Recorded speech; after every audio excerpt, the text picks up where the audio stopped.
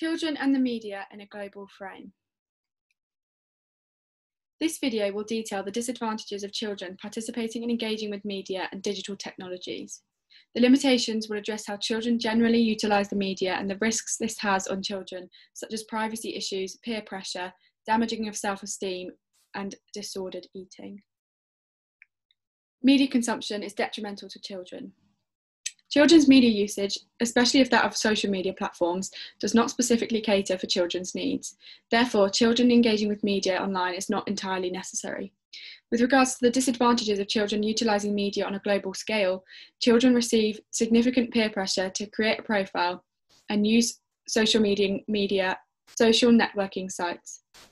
Furthermore, interacting and engaging with media particularly with social media platforms, can damage self esteem and cause social relationships amongst children.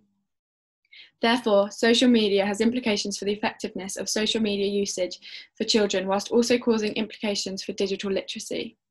In addition, widespread communication as a result of children using more digital technology can cause children to come into contact with less trustworthy individuals, such as criminals and imposters online, causing issues for security, privacy, and individual harm. In regards to media effects, children are particularly vulnerable to media influence, and it has been determined that the media does harm children to a certain extent.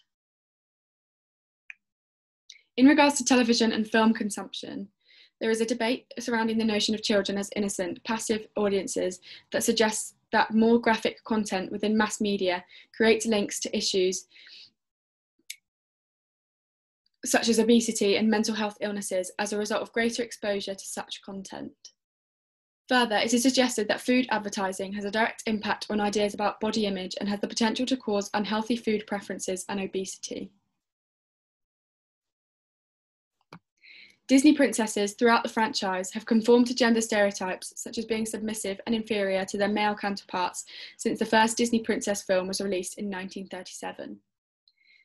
In their study, England et al. 2011 indicate that although Disney princesses have have become more andro- androgynous with more masculine personality traits in recent films. The princesses depicted all conform to gender and heterosexual stereotypes throughout the films. Furthermore, media representations of women through Disney princesses and Barbie reiterate that sexuality and appearance, instead of career advancement, are sold to young girls as their primary means of power highlighting the uniform, slim, detrimental figure of all Disney princesses, which contributes to lower self esteem and body image confidence, exacerbating issues such as disordered eating and mental health illnesses.